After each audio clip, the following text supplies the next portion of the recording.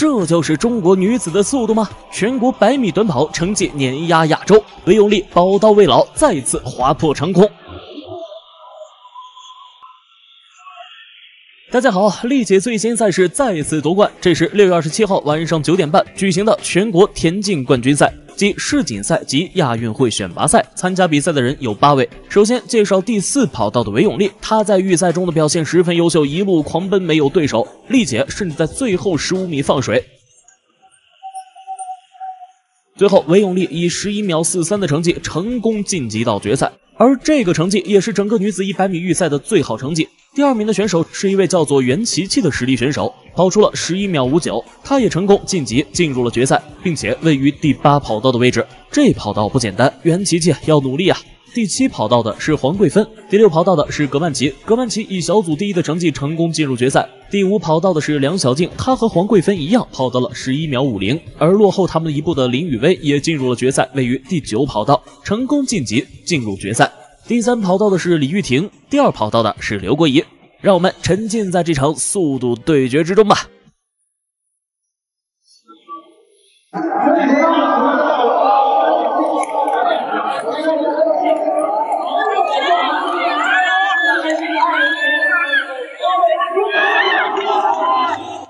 比赛中起跑最快最好的是韦永丽和梁小静，两人在前程保持领先模式。赛程过半，渐渐的葛曼棋追了上来，逐渐缩小差距。韦永丽和葛曼棋齐头并进，两人几乎同时迈过了终点线，在肉眼看来是无法分辨的。但是通过电子计时器显示，葛曼棋跑出了十一秒四四，这是他本个赛季的最好成绩了。大姐韦永丽宝刀未老，在比赛中跑出了十一秒四二，这个成绩比葛曼棋的十一秒一一快了零点零二秒。在百米赛场上，分毫之差就是冠亚之别。韦永丽拿下了冠军，葛曼棋拿下亚军，袁琪琪以十一秒四五的本赛季个人最好成绩拿下了季军。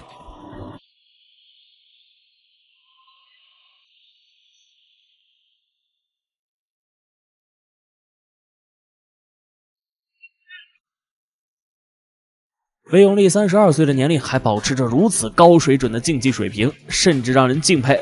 他的优秀表现通过选拔夺冠，可以参加自己的第三届亚运会。韦永丽会再一次让大家刮目相看吗？首先拿到了哦，那亚运会的入场券，所以希望我们的女子短跑在亚运会和世锦赛上有一个更大的突破，然后捍卫我们在亚洲的地位。大家怎么看？评论区欢迎观众老爷们的来访。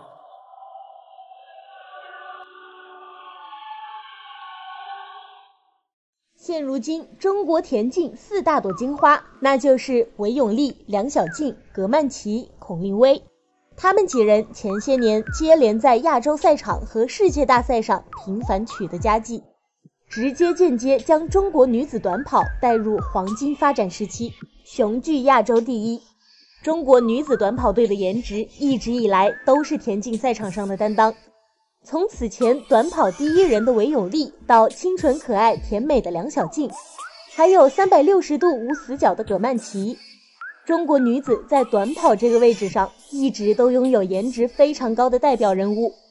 而如今，中国女子短跑又增添了一位实力与颜值俱佳的选手，那就是出生于九七年的黄桂芬。在二零二一年全国田径锦标赛女子一百米决赛上。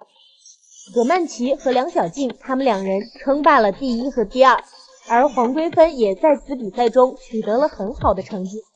在之后的两百米决赛上，黄桂芬顶着大雨，最后时刻极限超越孔令薇，成功抢夺了女子二百米金牌。如今，中国女子四乘一百米接力正在进行换血，曾经的第一人韦永丽，由于年纪上来了，没有之前的好状态，开始淡出。而孔令薇也稍有掉队，只有梁小静、葛曼棋扛起了接力队。不过二人正值巅峰，也是2021年女子100米冠亚军得主。如今能接任韦永丽的位置的，也就只有湖南女孩黄桂芬。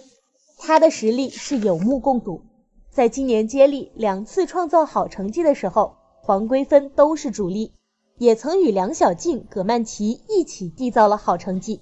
而且他们之间的配合程度也是极其的高，希望他们可以在之后的东京奥运会上拔得头筹，并肩作战，再创佳绩。好了，今天的视频就到这里，感谢大家的观看。有喜欢体育的朋友记得关注一下哦。我们下个视频再会，拜拜。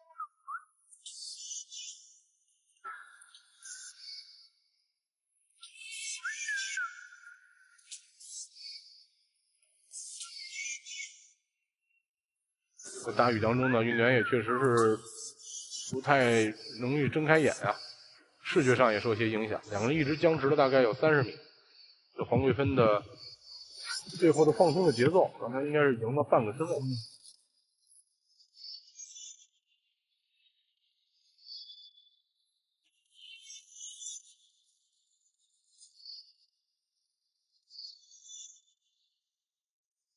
这样是黄桂芬二十三秒五三获得了冠军，沈凌威是获得第二，陈东欢是获得了第三。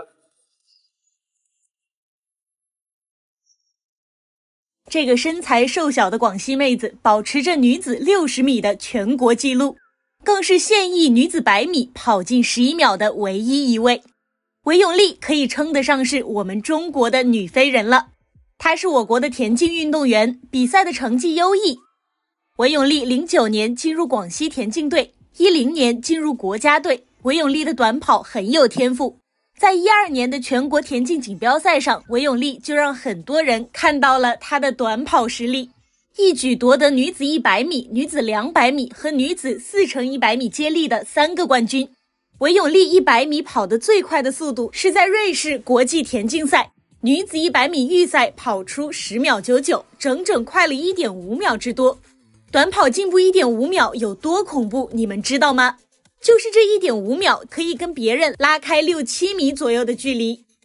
如今将满三十岁的韦永丽，曾经十年征战三届奥运会、五届世锦赛，现在她遭遇伤病影响，状态恢复缓慢，期待她还能再创巅峰。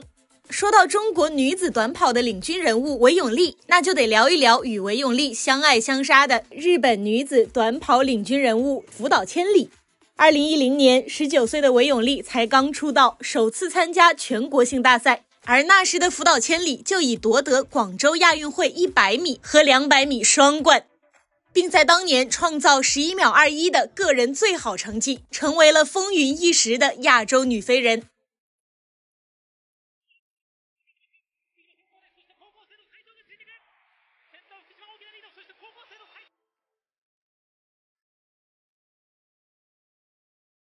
四年后的仁川亚运会，两人第二次交锋。